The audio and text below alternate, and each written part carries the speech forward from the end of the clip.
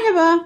Bugün Lohusa depresyonundan biraz bahsetmek istiyorum. Gene bu senin işin değil e, diyebilirler. Ancak benim işim çünkü e, Lohusa'nın en çok görüştüğü kişi bendenizim yani pediatristler. Bu yüzden bizi çok ilgilendiriyor Lohusa depresyonu. Şöyle ki neden Lohusa depresyonu sık görülür? Neden bekleriz sık görülmesini? Önce buradan biraz bahsetmek istiyorum. Herkesin anlamadığı şey şu. Kadının bedeninde inanılmaz bir deprem olunur. Hem de her açıdan. Bir kere gebe kaldığı andan itibaren fiziksel olarak o beden çok değişir.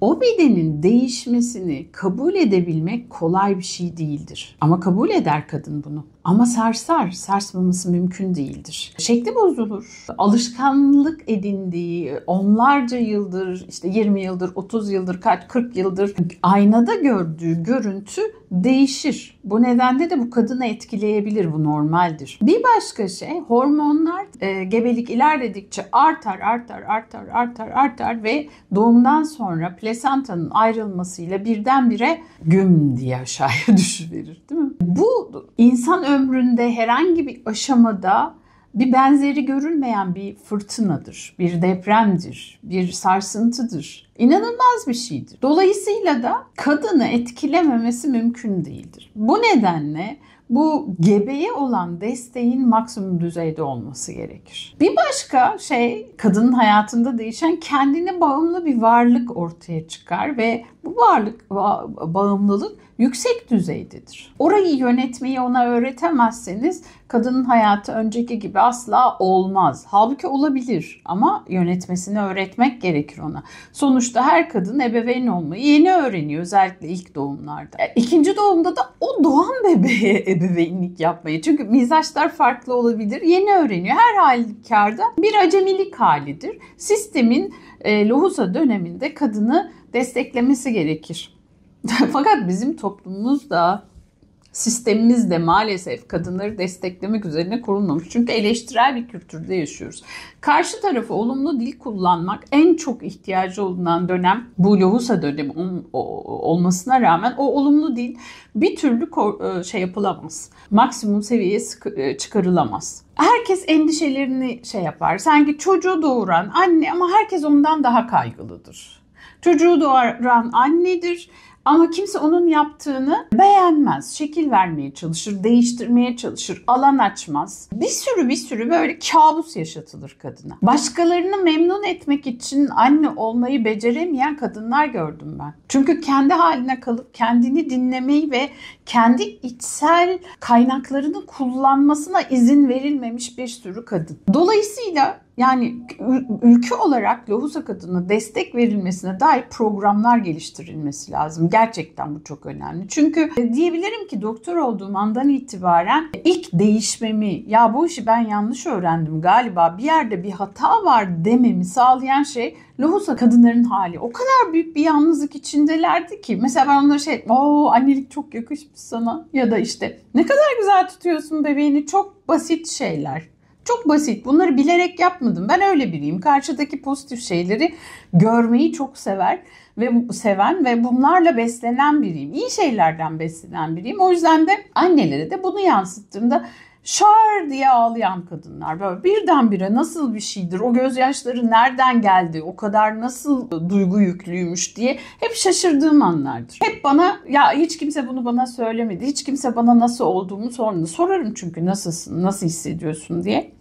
Hiç kimse bana bunu sormadı. Birdenbire herkesin gözü bebeği görür olur ve anne görünmez olmaya başlar. Yani görünmezdir. Halbuki en büyük sıkıntıyı o yaşamıştır. O çocuğu ortaya geç, ortaya çıkaran o kadındır. Ama kadını kimse görmez. Ya görünmeyen biri başkasını da göremez, çocuğunu da göremez. Bu nedenle önce anneye bir bakıp onun nasıl olduğunu, nasıl hissettiğini, onun neye ihtiyacı olduğuna merak duyup sonra yeni doğana yönelmek gerekir. Tabii heyecanlı bir şey bir çocuğun dünyaya gelmesi ama eğer o çocuğu seviyorsanız annesine iyi bakmanız gerekiyor. O çocuğun iyi olmasını istiyorsanız annesini iyi desteklemeniz gerekiyor. Bugün bir hasta geldi. Bu e, şeyde videoda oradan e, çıktı. 6 ay boyunca hatta anne şey dedi yani emzirmeyi bitirene kadar öyleydi dedi. Beyin sisi gibi bir şey tarifliyor. İşte öyle denmiş ona beyin sisi denmiş. Ama bence ağır lohusa depresyonu geçirmiş anne. Psikiyatriste de gitmiş aslında yardım istemiş ama psikiyatristten fırça yemiş. İşte anne olmak böyle bir şey. Zorlukları katlanman lazım. Böyle diyerek şeye yardım edemezsin. Yani lohusa anneye yardım edemezsin. Onu anlamaya çalışmak ve nasıl ona destek olacağımızı düşünmemiz gerekiyor. Bu erken ilişki sağlığı sırasında e, şu anda bir makale okuyorum. E, Arietta Slade'in bir makalesi. O kadar güzel ki bu bebek ruh sağlığının ilk adımlarını atan insanlardan biri. Salma Freiberg'in anılarından bir şey söylüyor. Diyor ki birçok annenin çocuğunu görmesini sağlamamızın yolu önce anneyi görmek oldu ve annenin çocuğunu görmesi oldu. Şifa buradan başladı her iki taraf içinde. Dolayısıyla da baştan şifalı bir ilişkiye kavuşabilmesi için annenin ve çocuğun önce annenin görülmesi gerekiyor. Gene söylüyorum görülmeyen başkasını görmeyi bilemez. Bu nedenle bir lohusayı desteklemek konusunda ciddi adımlar atılmalı. Buradan e, gerçekten e, Sağlık Bakanlığı'na bir e, dilekte bulunmak istiyorum. İlerideki sorunları azaltmak istiyorsak lohusa döneminde anneleri nasıl destekleyebiliriz?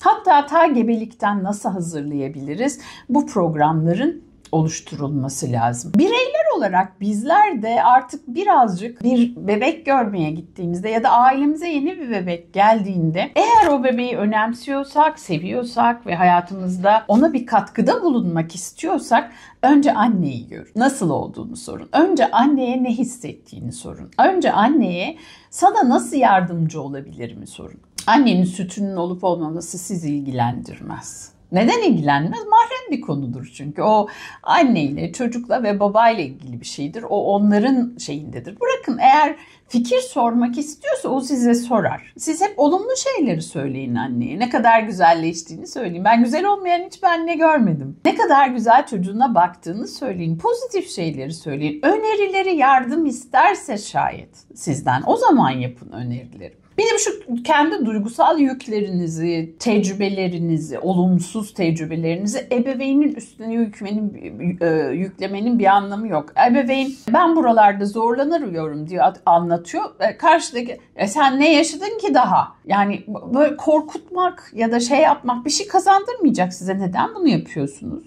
Gebeye de böyle yapılıyor. İşte doğum, aa şurada kendi doğum, olumsuz doğum anıları onun üzerine yükleniyor. Halbuki her şeyin güzel olacağını söylesek belki de güzel olacak. Kehaneti gerçekleştirmenin bir anlamı yok. Bu kavram çok bilindik bir kavram. Olumsuzsanız beyin olumsuzu görmeye devam eder ve korktuğunuz şey başınıza gelir. Bu bilimsel bir veri. Nörobilim çalışmalarından çıkmış bir veri. Ama pozitif giderseniz her şey pozitife gidecek çünkü beyin hep pozitifi görecek ve daha güçlü olacak mücadele etmek açısından.